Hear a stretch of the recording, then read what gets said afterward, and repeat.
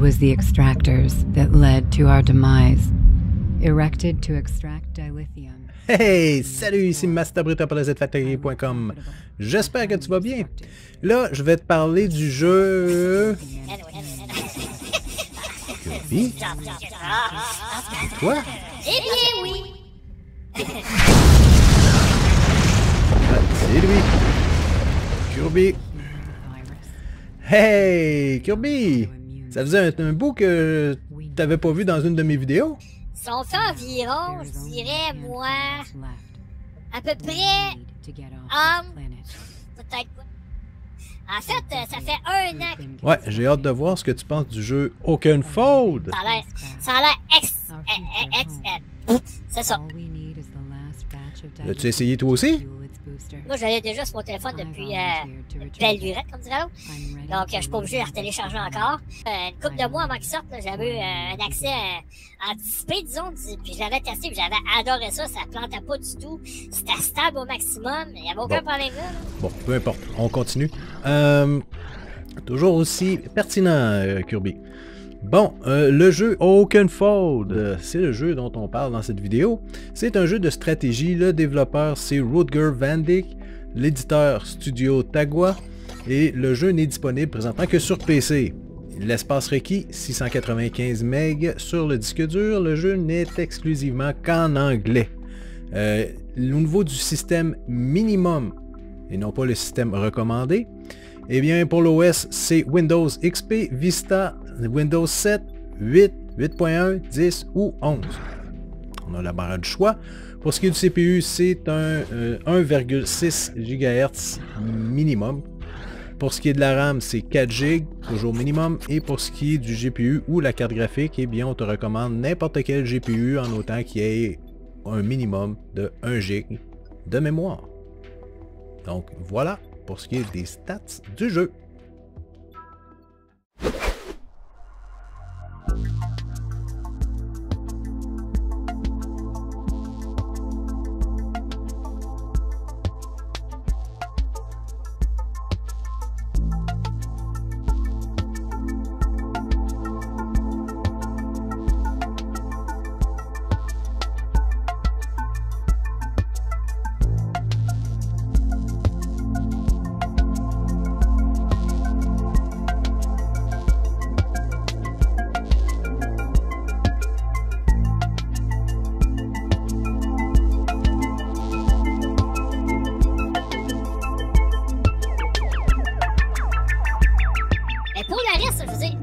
Bonne, ok, c'est correct, mais c'est comme tous les jeux de films qu'on a vus dernièrement, ok?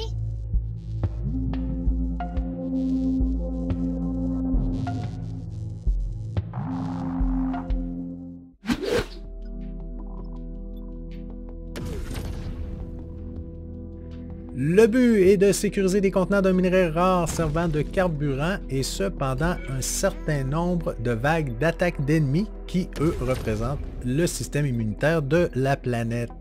Ah, comme les zombies, la même affaire. C'est ça. Il n'y a pas d'obligation de tuer tous les ennemis pour réussir le niveau, ça c'est important. Je tiens à mentionner qu'il n'y a pas de tutoriel en début de jeu. Ça, c'est chiant.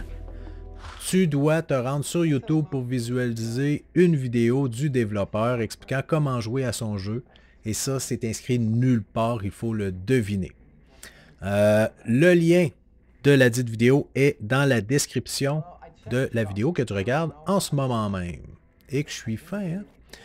Je te conseille d'aller la visualiser avant de débuter de jouer parce que ça peut prendre un certain temps si tu veux apprendre comment ça fonctionne par toi-même. Hein, Kirby? Après 5 ans d'attente, c'est merveilleux. Oui, oui, oui. Bravo! Tu as le choix entre trois styles de combat en début de jeu. Le style survie, le style agilité et le style scientifique. Chaque style offre trois attaques différentes. Celles-ci permettent, oui, éventuellement d'anéantir les ennemis, mais surtout de les déplacer en les repoussant dans une direction X. Comme ceux-ci indiquent l'endroit de leur prochaine attaque, tu peux décider stratégiquement qu'est-ce que tu vas faire pour éviter qu'un ennemi ne démolisse un contenant de carburant ou une autre structure qui est nécessaire? Tu n'es pas obligé de tuer tous les ennemis, je le répète. Mais, comme il y a de nouveaux ennemis qui apparaissent à chaque nouvelle vague d'attaque, ben la situation peut devenir rapidement ingérable, ce qui risque de te faire perdre la partie. Lorsque tu tues un ennemi, tu peux récupérer une boule d'énergie qui te permet d'améliorer quoi, Kirby? Je jamais, j'ai mettre haut les deux, Calvas. Ah, tabarnane. Ah, je sais, je le trouverai pas juste me faire m'écœurer. Ah, t'as peu. Je m'en aller où avec ça? Tes armes et tes compétences. Lorsque tu accèdes à une table d'amélioration des armes ou des compétences. Aussi, au début d'un secteur, tu peux choisir le parcours de niveau à compléter à partir d'une carte. Chaque niveau t'offre des objectifs secondaires qui sont différents les uns des autres et s'ils sont atteints, ben, te permettent d'obtenir des ressources afin d'améliorer tes armes et tes compétences. Fantastique. À la fin d'un secteur, qui lui est composé de 5 niveaux, ben, tu dois affronter un boss. Le jeu, lui, se déroule en tour par tour. C'est la mécanique principale. Et il est possible, ça je tiens à le mentionner parce que je trouve ça vraiment cool, grâce à la molette de la souris, tu peux revenir dans le temps si tu regrettes une décision ou une action que tu as faite.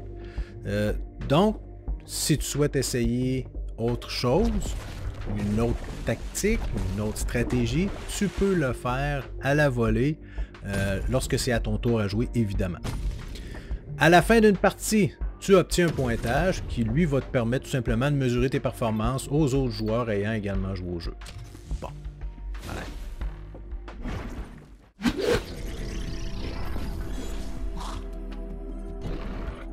Que mes yeux et mes oreilles en pensent. Eh bien, au niveau visuel, le jeu est quand même assez joli. Il y a des belles couleurs. Euh, au niveau du graphisme, les le personnage est bien fait. Les ennemis sont bien rendus. Euh, les ennemis sont facilement différenciables. Ça, j'apprécie toujours ça. Surtout quand ils ont des attaques différentes les uns des autres, comme c'est le cas ici. Donc, ça, merci. J'apprécie beaucoup. Euh, les secteurs, eux aussi, sont différents de par leur couleur. Euh, l'environnement est perceptiblement différent aussi les uns des autres. Ça, c'est bien. La musique, elle, elle est de belle qualité. Elle, est, elle, englobe bien ce qu'on voit visuellement. Ça dans le fond, ça fait beaucoup de sens avec ce qu'on voit, l'ambiance, tout ça, c'est de bon goût, c'est bien fait, c'est quand même d'une belle qualité. Les sons, eux, bon, ils deviennent rapidement redondants. On voit que la banque de sons, elle est très limitée, ce qui fait en sorte que tu vas entendre les mêmes sons très régulièrement. Les attaques, ça fait, ça fait toujours les mêmes sons. Les ennemis, mm, bon, d'une même sorte, vont toujours faire le même son. Il n'y a pas de son différent par rapport à ça. Mais dans l'ensemble, moi, je considère que c'est très bien fait. C'est de belle qualité. Surtout que c'est un jeu à, un budget limité. Donc, bravo, chapeau, ça, c'est bien fait. Euh, Kirby, t'en penses quoi? Il y avait une meilleure... Euh... Comment je faisais ça, donc? Je veux dire, qu'est-ce que tu veux de plus?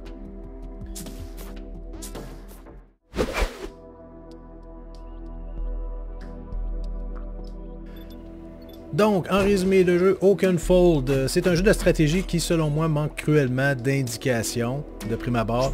Et comme je l'ai mentionné, il n'y a pas de tutoriel, donc on est lancé euh, dans le vide, sans filet, sans parachute. On ne sait pas quoi faire dans les premières parties. Une fois qu'on comprend, ben, on se demande si on veut réellement continuer. Euh, les parties sont courtes, ça c'est pas mauvais. Il y a une sauvegarde automatique qui se fait si tu quittes une partie en cours. Mais ça, honnêtement, on s'attend à ça de tout jeu vidéo aujourd'hui en 2022. Presque 2023. Ça paraît que l'objectif Kickstarter pour le jeu a été atteint de justesse parce que le jeu est trop direct. Euh, il n'y a pas d'enrobage autour de l'os. Ça manque. C'est très redondant. Bon, oui, il y a un niveau de difficulté qui augmente avec les niveaux, oui, mais il manque quelque chose. Il n'y a pas de wow factor, honnêtement.